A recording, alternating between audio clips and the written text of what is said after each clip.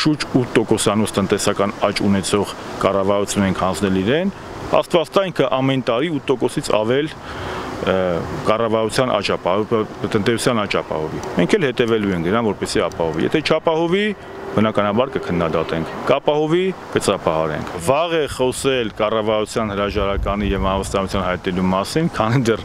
վարչապետը ընդամենը մի քանի մի քանի օրվա վարչապետ է եւ դեռևս սա ծրագիրը չի հաստատվել։ Ամեն ինչ իր հերթին իր ժամանակին։ Մենք չենք անելու երբեք քայլեր, որոնք իրենց մեջ ունենան սաբոտաժի կամ ռևանշիզմի տարեր։ Մենք բնականաբար մեր բոլոր քայլերը լինելու են ոչ թե ընդդեմ Փաշինյանի, այլ հանուն Հայաստանի Հանրապետության, հանուն մեր ժողովրդի։ Եվ ինչպես ճիշտ գտնենք, այդպես էլ կվարվենք, առասկում ունենալով ոչ թե մեր, այլ ժողովրդի շահը։